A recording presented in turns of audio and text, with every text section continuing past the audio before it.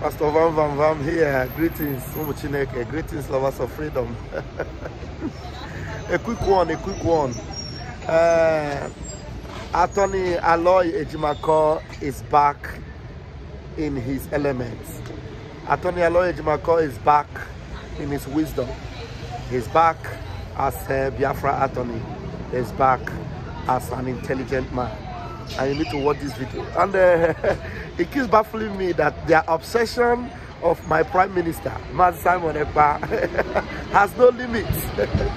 they are obsessed. They are obsessed with the dragon. They are obsessed with Obatobie, and he's giving them woto woto. The restoration of Biafra is sacrosanct, and Mazi Simon Ekpa is the man for the job. Well done, Attorney Aloy. Thumbs up for this uh, interview. And uh, it is good. Uh, and the next time when they try that nonsense, walk out on them. It is allowed. Okay? When they try that nonsense, they invite you and they ask stupid and senseless questions, walk out on them. It is allowed. We are Biafrans and we know what we are doing. And Raphael Chiamaka Jere, aka Pastor Van Van Van, Airborne.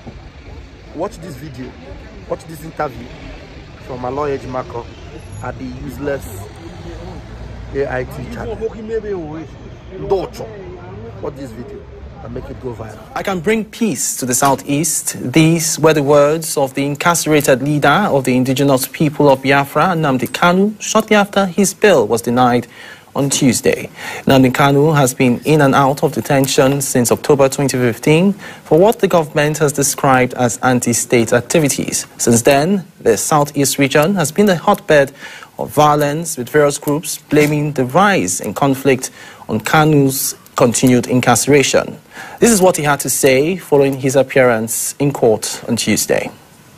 Anybody committing crime cannot go scot-free. I swear it. They cannot go scot-free. Anybody involved in any type of crime in the East cannot go free. And they're doing it because I'm, I'm, I'm, I'm, in DSS. That's what they, if I said no idiot can try this rubbish. And they know it very well. They know it very well.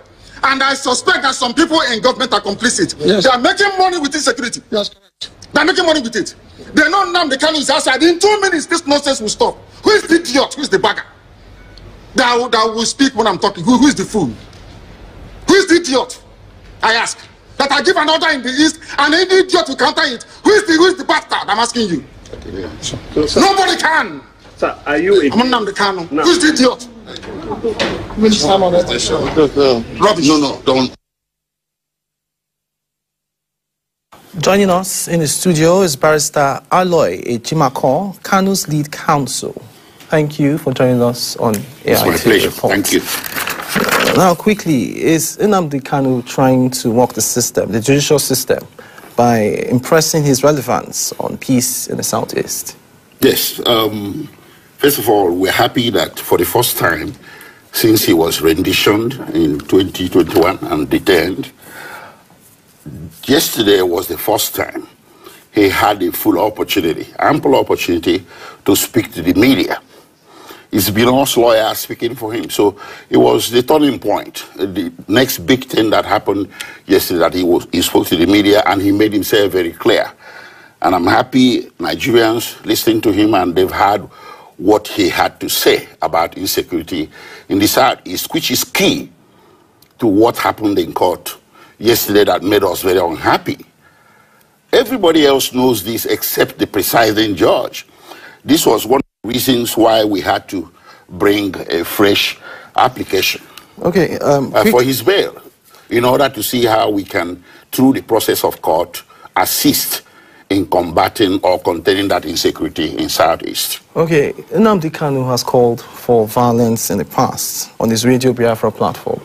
So, on both security persons and citizens alike. So, why the, uh, the turnaround uh, saying that if, if he gets bail, uh, um, he can assure that there will be peace in the No, southeast? you are totally wrong. He never called for violence. He called for self-defense. Because because you can because we can clearly see that you can you can in 2020 the End SARS protest. If you Google it now, you can get that information. on When he, he called for an attack on uh, the governor, Sanwo-Olu, and some other. No, I, I recall figures. I recall an interview he did with uh, the Ovation magazine publisher. What's his name again? Ovation magazine publisher. That was um, an interview he did with him. I recall. I remember his name before we finish. He did an interview because of what you just said, the misunderstanding, the misconception, the misrepresentation of what he had said during End SARS. So he clarified himself. He was calling for self-defense of the southeast and for people to employ self-defense to defend themselves against those that are living the insecurity in the country. Okay, so um, let's let's let's just say, okay, uh, if his intentions are genuine, um, how does he hope to achieve this peace?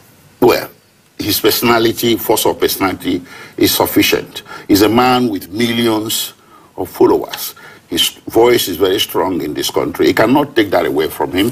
His sheer force of character, his charisma, and his capacity to rally people to do the right thing. Those things are key to combating this insecurity, and he, he, can, he, he, he can do it. He, he, clearly does have a lot of supporters, and, and some of his supporters are complicit in uh, asking for violence, preaching violence. People like Sam Ekpa. Uh, uh, what is, what, what, what's your take on that? Mazi Nnamdi Kanu has been in detention since 2021, and they are trying to make him responsible for what is happening out there that he doesn't have Okay, anything to do with. oh, oh, He cannot be guilty by association. Okay, okay. Let, us let's let's get back to the beginning. And if the- as, the as people- he's the- incarcerated the, now, people, the eh, people, the as- people, as no, no, he's- hold on. The people that you assuming uh, to be his supporters, some are genuine, some are not. Some are credible, some are not. You cannot attribute anybody to Madin Namdi Oh, oh, oh, that okay, stands okay, to say he's okay, a okay, supporter. okay. There's, there have been violence. have there have been violence perpetrated in the southeast, and there have been links to his continued detention. There have been linked to his detention. So, uh, how, how can you say that um, these supporters are not his um, supporters, or they are not? Okay. And and if, and even if he, he, he- they, they are not his supporters. As he's incarcerated, uh, his supporters are not listening to him. So, how are we sure that him getting bail will mean that his supporters Okay, you listen? see, you are attributing what people say, what people do to Mazi Nnamdi Kanu out there. It's very unfair. He spoke up for himself yesterday. He said he's not in support of any violence and criminality. And I think, wait, I think he should be taken at his word.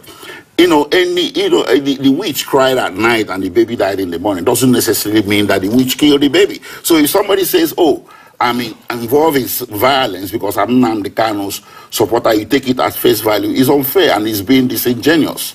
At the same time, I think it's what Nnamdi Kanu says if he claims such a person for himself.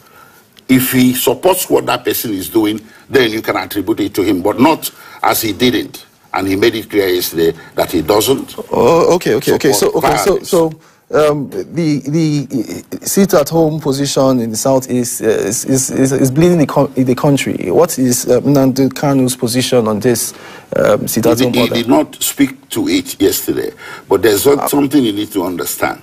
There are millions of people in the Southeast that are not happy with Nnamdi Kanu's detention. It has gone beyond IPOB. The entire Southeast is roiling. Igbos are not happy. He's being detained illegally. You should know that since 2021.